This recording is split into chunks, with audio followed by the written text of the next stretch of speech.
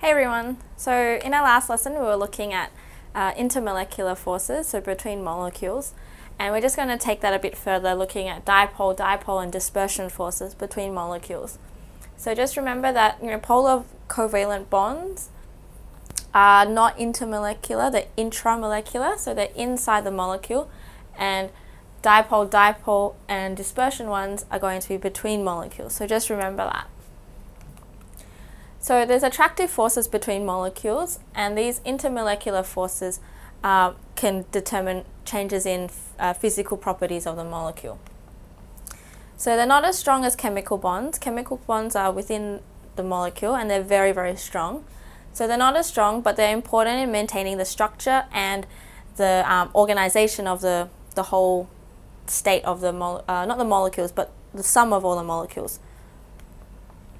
So there are three main types of intermolecular forces. We're looking at dipole-dipole forces, dispersion forces, and hydrogen bonding.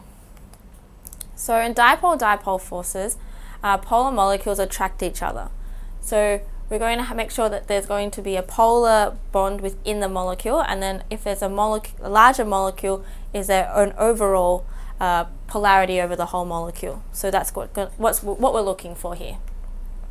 So one end is going to be slightly positive, one end is going to be slightly negative, and they're going to the opposites will attract. So the slightly negative Cl side can attract towards the slightly positive hydrogen side. So when we have dipole-dipole uh, forces involved, they can create some ordering in the whole uh, in all the molecules. So they can start to align up together with the negatives going towards the positives, and then making some sort of order in the in it in a liquid and a solid state. Um, so the melting and boiling points of such molecules are higher for similar weight nonpolar molecules. So we know that melting and boiling points, we need energy to go in to break up these, these forces between molecules. So if we have similar weight ones, we're going to expect them to have similar melting and boiling points. But if they have stronger attraction between molecules, we can say that they have higher melting and boiling points. So hydrogen sulfide's melting and boiling points are significantly greater due to dipole-dipole interactions. So hydrogen sulfide is a bent molecule of similar weight to oxygen, which is linear. But look at the melting and boiling points. They're quite, quite, quite higher compared to oxygen.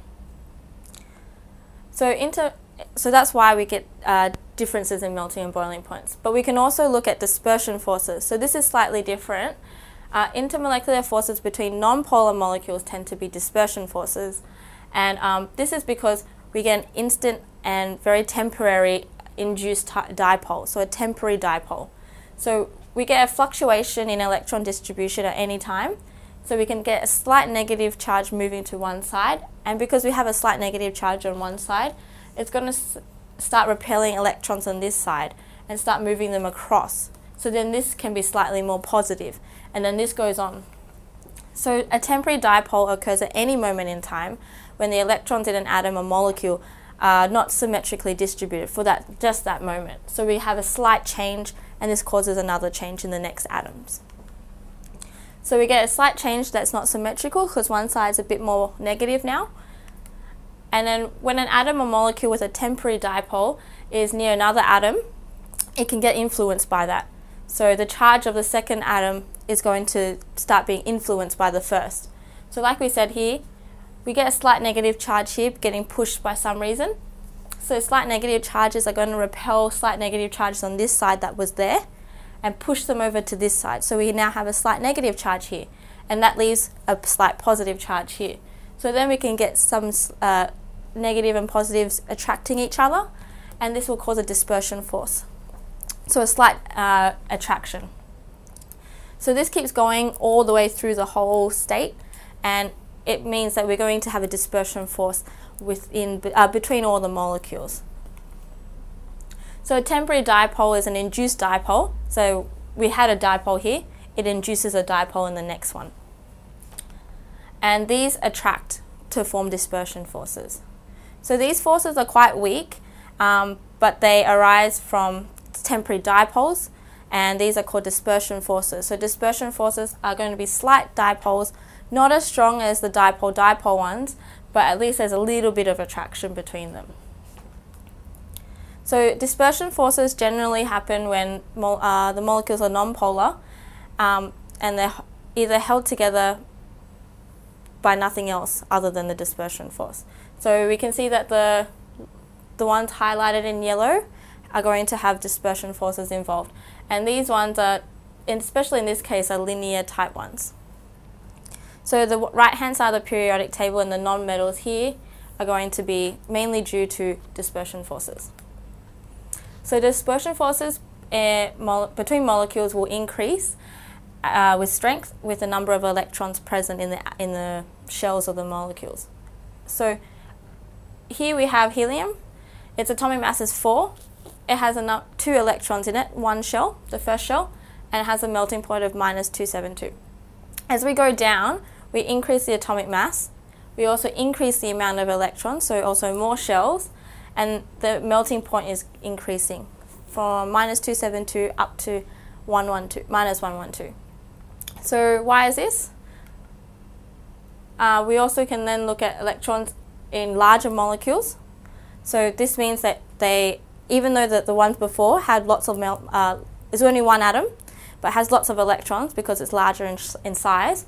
We can also look at these ones here, the hydrocarbons. They also have a lot more electrons because there's more, more atoms though in this case. So we increase the molecular weight. So we're adding on a carbon to the chain. We're increasing the melting point. So minus to positive, and again with the boiling point. So this is due to dispersion forces being involved with the electrons. Because remember, if we have electrons surrounding it, we can push them to one side. Push them to one side means that there's going to be a slight charge difference over the whole molecule, temporary but a little bit, and therefore we can have attraction between the molecules, similar with the, the ones we did before. So dispersion forces contribute to attractive forces between the molecules. So we're going to have attraction between, not inside the molecule. However, in the case of highly polar molecules, the dipole-dipole forces are much stronger and the effect is more significant compared to the dispersion forces. So we, we know that dipole-dipole forces are more uh, stronger, so if there's more of it, then it's going to make these uh, dispersion forces less, less obvious. So between molecules that are non-polar uh, or slightly polar, dispersion forces are the main uh, force attracting them between them. So in this case, we're going to have mostly dispersion forces because it's nonpolar. So although hydrogen chloride is a uh, polar molecule, because we know chlorine is electronegative, pulling the electrons closer to it compared to the hydrogen, it doesn't have the highest melting point because it's got minus 114 compared to minus 51. Uh, in this series, HI is the highest one, and because in HI there's uh, more dispersion forces, it compensates for the, uh, the dipole-dipole ones in hydrogen chloride. So even though it's electronegative and it's polar, the HI ones with the dispersion forces uh, overall, all of them together, are stronger in total compared to this one. So the melting point of pentane is 27 degrees higher than the dimethylpropane. So this is pentane, and then this one is dimethylpropane. They have the same chemical formula of CH, uh, C5H12, but the structure is different. This one is a chain, and this one is in kind of like a square type formation. So the difference in the, the uh, melting point and boiling points is due to the shape of the molecules. So because the pentane is a chain and the dimethylpropane is kind of more condensed into a square structure, we can say that the zigzag structure has a higher surface area compared to the dimethylpropane. So that means there's going to be more chances for intermolecular bonding between this one and another molecule and compared to this one. So dimethylpropane has less contact with other molecules, so there's less chance of interaction. And therefore, in this case, dispersion forces, which are weaker, but uh, because there's more of them, we can say that it contributes to a higher uh, melting and boiling point in this case compared to this case. So intermolecular force strength orders we know that hydrogen bonding is the highest, uh, most strongest one, followed by dipole-dipole, and then finally with dispersion forces being the weakest one. So we can say hydrogen bonding is the strongest, dipole-dipole is next, and then dispersion is the weakest. Dispersion forces, even though they're weak, you can add them together, and if it's a lot of them, then we can it can really negate any hydrogen bonding. So it can be stronger in some cases than hydrogen bonding. So even though we have hydrogen bonding present, we can, it doesn't always mean it will have stronger bonding in total. So question 17, we'll be looking at uh, outlining the meaning of the term intermolecular forces. So we need to make sure we outline uh, what we want to say. So in this case, we're looking at intermolecular forces. So intermolecular forces are attractive forces between molecules. And these may be dispersion forces, dipole-dipole forces, and hydrogen bonds. So next, question 18. Identify the forces between molecules. So identify means we just have to state them. So attractive forces between molecules can be one of three, remember? Dispersion forces, dipole-dipole forces, and hydrogen bonds. So these are being the weakest one, then a stronger, and then the strongest. So question 19, distinguish between dispersion forces and dipole-dipole forces. So with distinguish, we need to make sure we outline the differences between these two, dispersion and dipole-dipole forces. So dispersion forces are weak attractive forces between molecules and are due to random movements of electrons around the atom. And they form, this means because they move, they're forming momentary charges or slight polarity in the molecule. However, dipole-dipole forces are stronger attractive forces between molecules, and dipole-dipole forces are not temporary, they're permanent over the molecule.